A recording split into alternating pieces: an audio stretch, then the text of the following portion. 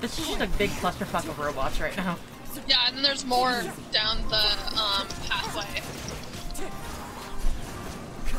Um. it went through I... the wall.